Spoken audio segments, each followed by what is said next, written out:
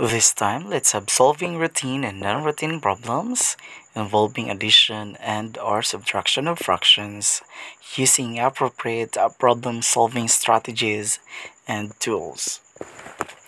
So let us know first what is routine problem. It is a type of problem that requires immediate solution. And non-routine problem, it requires some degree of creativity or originality to solve. Oftentimes, these problems can be solved in multiple ways like working backwards and writing an equation just to name a few. Papaano nga ba ang pag-solve ng routine problem? So, isang halimbawa ng problem is ito. Aling Maria has 12 and 1 4 kilos of beef to sell. If she was able to sell 9 and 1 half kilos of beef, how much meat was left to sell? Sa Aling Maria daw ay mayroong 12 and 1 4 kilo ng karne ng baka para ibenta. Kung siya raw po ay nakapagbenta ng 9 and 1 half kilos ng karne ng baka, ilan na lang pong kilo ang natira para ibenta niya. Okay, para malaman natin ang sagot, alamin muna natin kung ano ang what is asked. Para masagot ang what is asked, na makikita po natin siya sa katanungang how much meat was left to sell. Pero hindi po siya ang pinakasagot kundi atin pong i-rename. Babaguhin po natin from question to statement. Kaya magiging siyang the weight of meat that was left to sell. So, ibig sabihin, ilang kilo na lang ng karne ng baka ang kanyang ibebenta. So, ano-ano naman ang ang pwede nating makuhang mga given facts. Yan, we have 12 and 1 4 kilos of beef to sell.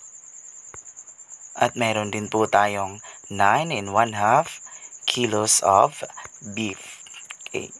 Ano po ang tinatawag nating word clue? Ang word clue, ito po ang magiging daan para malaman natin kung ano po ang operations na gagamitin kung magpa-plus, mag-minus, mag-sub, mag, uh, divide or mag-multiply. So, left. So, left, ito po ay subtraction. Kaya ang operation to be used natin is subtraction. So, ano naman nating number sentence? Ang number sentence is a combination of operation to be used and given facts. So, meron tayong 12 and 1 fourth minus 9 and 1 half is equal to n. Okay. Ano po ang solution natin?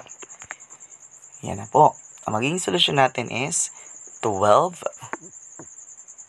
and 1 fourth minus 9 and 1 half is equal to n.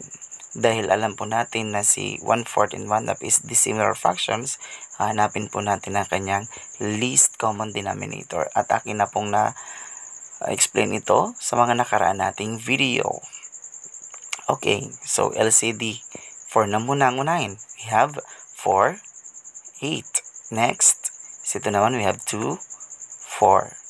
At si 4 at si 2 ay mayroong parehong 4. Kaya ang gagamitin natin is 4. So si 4 na ang bago nating LCD. Siya na po ang magiging nating bagong denominator.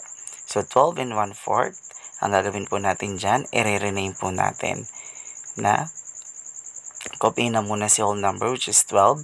Then ang bago nating denominator is 4. So 4 divided by 4 is 1 times 1 is 1. At i-rename din ulit natin si 9 and 1 half.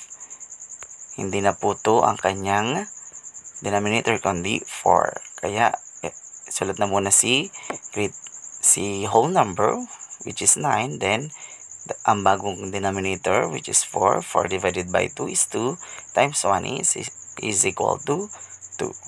Ngayon, pwede na po tayong mag-proceed sa subtraction. So, 1 minus 2, pwede po ba? Okay. Si 1 hindi po pwedeng mabawasan ito, kaya ang mangyayari po, hindi po tayo makaka-proceed sa subtraction. Ang gagawin po muna ni 1 4 maghihiram po siya kay 12 ng isa. Okay. So, i-rename po natin si 12. Gagawin po natin siyang 11 plus 1. Bakit 11 plus 1? Kasi si 1, siya po ang hiniram ni 1 4. Okay? Plus, idagdag natin si 1 4. Okay? So, si 1, i-rename po natin siya into a fraction na ang kanyang denominator ay dapat 4 na rin. Kaya, magiging siyang 11 plus 4 fourths. Ibig sabihin, kapag pare ang numerator and denominator, that is equal to 1. Kaya si 1 is just the same, the same as 4 fourths. Paano natin nakuha? Dahil ang denominator natin is 4 plus 1 fourth. So, 11 plus 4 fourths plus 1 fourth is equal to 11 and 5 fourths. Okay. Minus 9 and 2 fourths. 11 5 fourths minus 9 and 2 fourths. Pwede na po ba?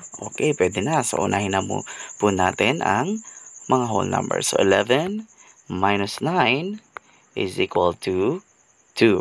Then, the numerator, 5 minus 2 is equal to 3. Then, copy the denominator dahil pareho na po silang 4. So, copy the denominator which is 4. So, 2 and 3 fourths, nasa lowest term na ba? Yes. So, 2 and 3 fourths now is the final answer. Kaya, ang pinakasagot na po is there were 2 and 3 fourths kilos of meat left to sell. Ganyan po ang pag-solve ng routine problem. So, solving non-routine problem involving addition, subtraction of fractions. Okay, halimbawa po nito, we have the problem. Mang Rico needs to fence a triangular piece of land. The first side is 12 and 1 half meters long. The second side is 7 and 1 6 meters long. The third side is 8 and 1 3 meters long. How long should the fence be to cover the triangular piece of land 3 times? So, writing an equation strategy po tayo. Yan po ang gagamitin natin para ma-solve ang non-routine problem na ito. So, ano nga ba ang ating what is asked? The length of the fence that would be used to cover the triangular piece of land three times. Again, makukuha po ito sa pinaka-question doon sa problem. Hindi po yung pinaka-question ng sagot, kundi i-rename or i-rephrase natin ito from question to statement. Next, ano pa ang mga given facts? We have 12 and 1 half, we have 7 and 1 6, and 8 and 1 third meters. At ang word clues natin, we have long and 3 times. Ang operations naman na gagamitin natin, addition and subtractions, idagdag na natin dyan si multiplications. Okay.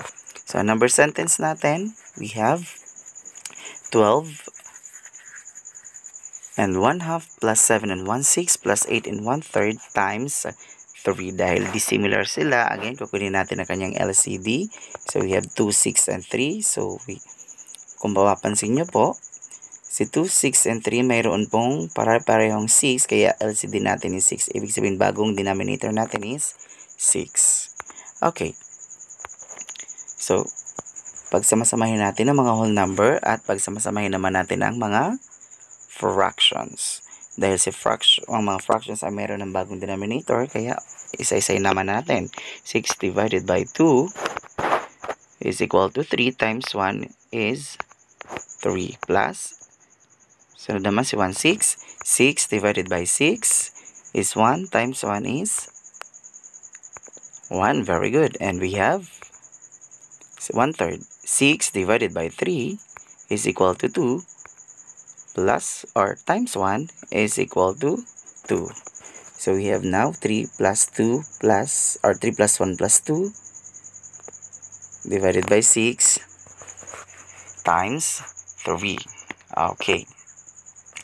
Ngayon, i-add naman natin ang mga whole number which is 27 po ang sagot plus the denominators 3 plus 1 plus 2 is equal to 6 then copy the denominator which is 6 times 3. Okay. Ngayon, kung mapapansin natin, si 6, 6, pareho pang denominator or at kanyang numerator. Again, kapag pareho ang numerator at denominator, that is equal to 1. Okay, kaya 27 plus 1. Okay. So, dating 2766 is equal to 27 plus 1 times 3. So, 27 plus 1, this will give us 28 times 3. Okay. So, 28 times 3 is equal to 84. At ang sagot na po natin is 84 meters. So, that is the final answer. At ganyan po ang pagsagot ng non-routine problem. Narito po ang mga dapat nating tandaan sa pag-solve ng word problems involving addition and subtraction of fractions. Follow lamang po ang mga steps na ito. Read the problem carefully. Basahin mabuti ang bawat word problem at identify kung ano ang hinahanap or what is asked in the problem. Take note of the given data, mga facts, at i-identify ko ng word glue. Si word glue, siya ang magsasabi sa atin kung ano ang gagamitin nating operations. Then, solve now the answer following the strategies in problem solving at huwag kalilimutan i-simplify at lagyan ng label ang sagot. Congratulations! Ready ka na sa susunod na talakayan.